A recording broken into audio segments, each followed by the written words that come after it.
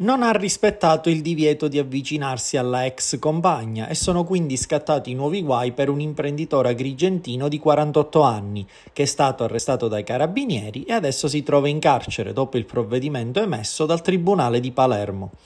L'uomo si era visto infliggere in passato il divieto di avvicinamento alla ex, in quanto accusato di maltrattamenti in famiglia, lesioni personali e diffusione illecita di immagini o video sessualmente espliciti.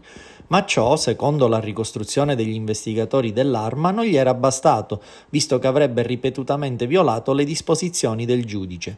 Dettaglio che gli è costato il carcere e adesso il 48enne è detenuto nella casa circondariale agrigentina di Contrada Petrusa.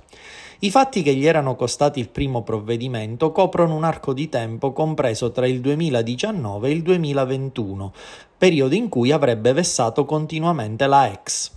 La donna, non riuscendo più a reggere la situazione, aveva denunciato l'accaduto ai carabinieri, i quali avevano avviato un'inchiesta sotto il coordinamento della procura e una volta compiuti gli accertamenti del caso era stato chiesto e applicato il divieto di avvicinamento, provvedimento ora rafforzato viste le presunte violazioni da parte dell'indagato.